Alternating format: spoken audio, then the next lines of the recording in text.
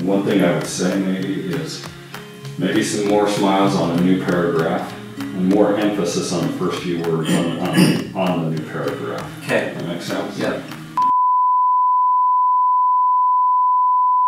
Working with clients at Day Violins over many years has taught me how important that first moment is when a beginner, whether a child or adult, draws the bow across the string to produce their first notes.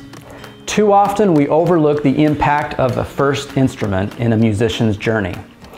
At Day Violins, regardless of the price of the instrument, each one will have a perfectly fitted sound post and bridge to maximize the quality of the tone of the instrument and a customized selection of strings to achieve an even balance across the full register.